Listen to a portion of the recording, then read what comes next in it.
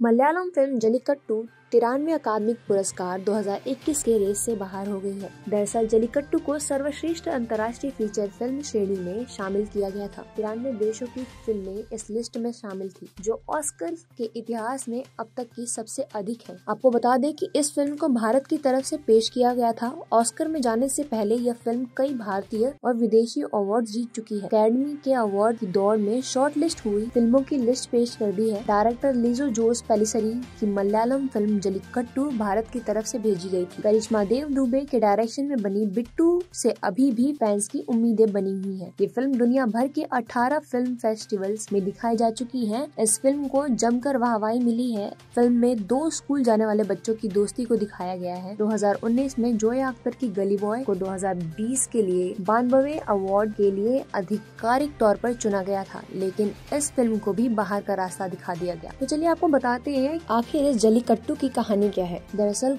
Kiln Varkey एक कसाई है। जो भैंसों को काटता है, पूरा गाँव उसी के काटे हुए मीट पर निर्भर है। तभी वहाँ एक उत्पादी भैंसा भाग जाता है और फिर उसे पकड़ने के लिए पूरा गाँव लग जाता है। फ़िल्म में इसके साथ ही कई साइड स्टोरी भी चलती है, जिसमें गाँव की गरीबी, अशिक्षा, बेरोजगारी जैसी समस्याओं को उठाया गया है। फ़िल्म में एंटोनी वर्गेस चेम्बन विनोद जोश सैथी बालाचंद्रन जैसे कलाकारों ने मुख्य भूमिका निभाई है। इस फ़िल्म का प्रीमियर सबसे पहले 6 सितंबर 2019 को टोरंटो इंटरनेशनल फ़िल्म फेस्टिवल में किया गया था, जहाँ इसकी काफ़ी तारीफ़ हुई थी। इसके बाद 4 अक्टूबर 2019 को इसे केरल राज्य में रिलीज़ किया गया। यह film Busan international film festival में भी प्रदर्शित की गई थी। पचासवी international film festival of India में इस फ़िल्म को डायरेक्टर लीजो जोस पेरिसरी को बेस्ट डायरेक्टर का अवार्ड भी मिल चुका है। इसके अलावा फ़िल्म को कई अन्य अवार्डो से भी सम्मानित किया गया है। बस आज के लिए इतना ही। अगर आपको हमारी ये वीडियो पसंद आई हो और ये जानकारी अच्छी लगी हो तो हमारे इस वीडियो को लाइक करें, शेयर करें और हमारे चैनल इंडियन न्यूज़ लाइव को सब्सक्राइब करना बिल्कुल ना भूलें। धन्यवाद।